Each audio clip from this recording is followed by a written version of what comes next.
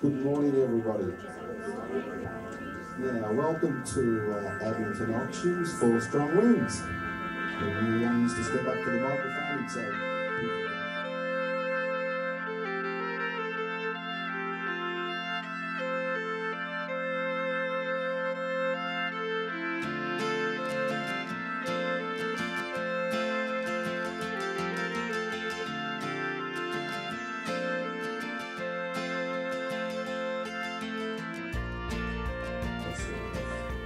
Okay.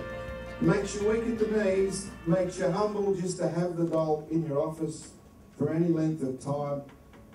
It's rare, rare, rare. And each of those rares has a price to pay and a story to tell. First off, the rarity is the kid leather body with the wooden articulated arms on a bruise, quite rare.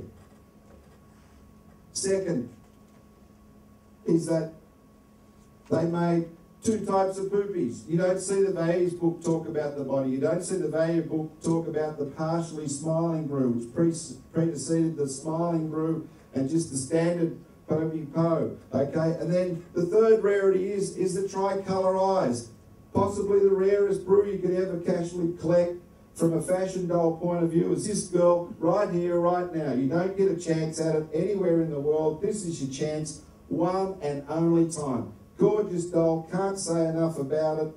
There you go. Graham says 8,000 is the low estimate, 8,000 is the bid. 8,000 is the bid, 8,5, 9,000, 9,5. Take your 100 if it helps. 9,500 is the bid. 9,6, 9,7, 9,8, 9,800 is the bid. Don't hesitate. You'll never see another one like it. It's rare on the world scene. 98, 99, 10,000. 10,000 is a bid. Going to sell it for that. 10 1. 10 2. 10 3. 10 4. 10,400 is a bid. I'm going to sell it for that. Once. Twice sold 10,400. Well done. Number nine.